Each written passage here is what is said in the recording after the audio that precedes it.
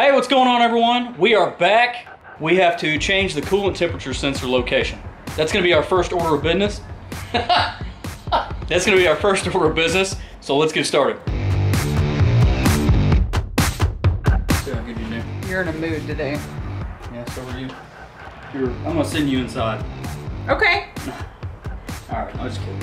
Okay, so what we're gonna do first is we're gonna go ahead and get this air box out of the way. This thing is a monstrosity, and we are not reusing this part of it. The only part we're reusing is the is the box over here where the air filter is in.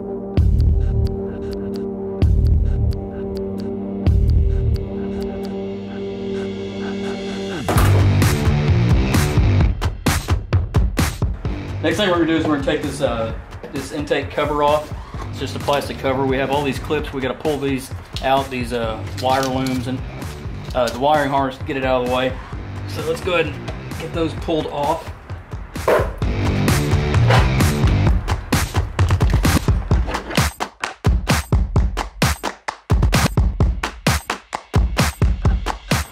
You have four bolts, looks like holding this cover on.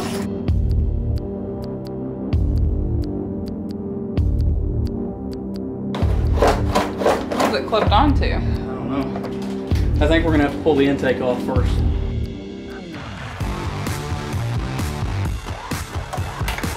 Coolant temperature sensor right here. This is what's gonna be getting moved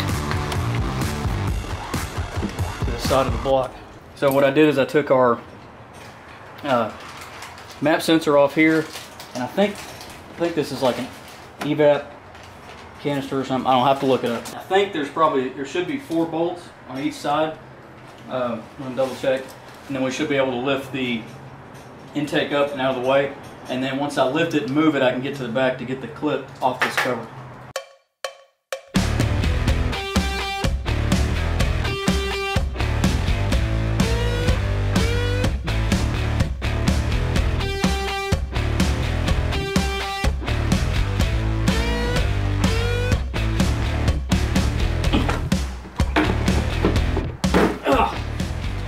Yeah, it's just clipped in here. That, that bracket thingy, is what was giving us all the hassle.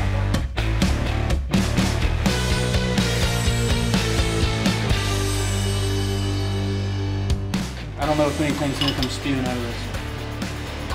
It shouldn't spew, it just, it's probably gonna leak out.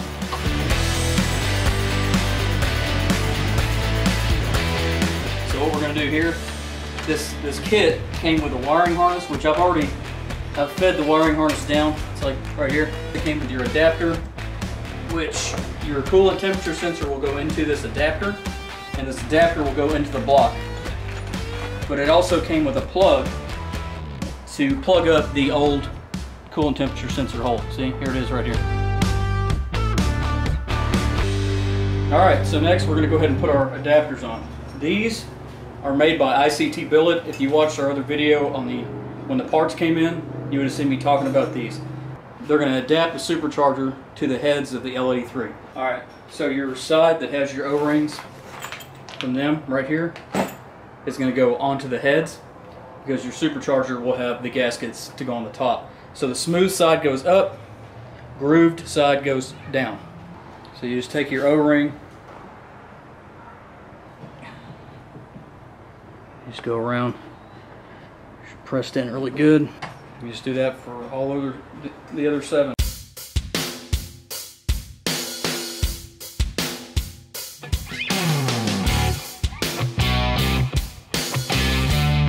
Gonna throw these on the truck.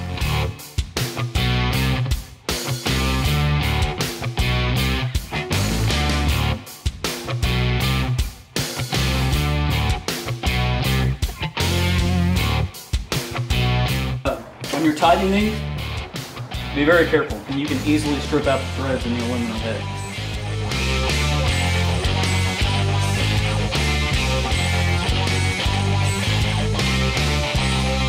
Now that this part's done, that's really all we can do right now up here until we finish some other things. And one of those things is we have to hook up our coolant temperature sensor relocation kit. So this kit's gonna come with a wiring harness, which I've already kind of ran down there, which you can see right here. Uh, I've got it plugged in already. This is your original harness for the coolant temperature sensor.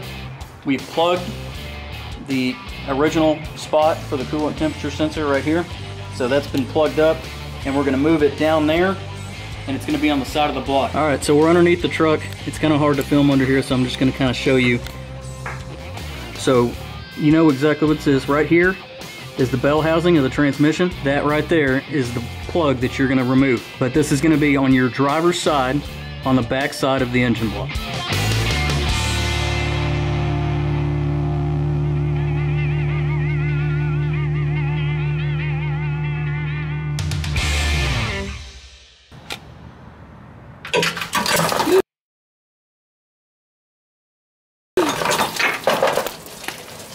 Dang it. Are you alright? Well, now that I'm covered in coolant, that was awesome. It's fun. Um, okay, so here's our adapter right here. Here's our coolant temp sensor. Our adapter is going in the block, and there's a washer that goes on it. This washer will go like that. Uh, I went ahead and wrapped Teflon tape around the coolant temp sensor before I put it in, and we'll put it around this piece too. And then I don't have a socket or an adjustable wrench that'll fit this, so I just so happen to remember I have a water heater element wrench that I've had for years. Look at that. Perfect fit. That's what I'm to use.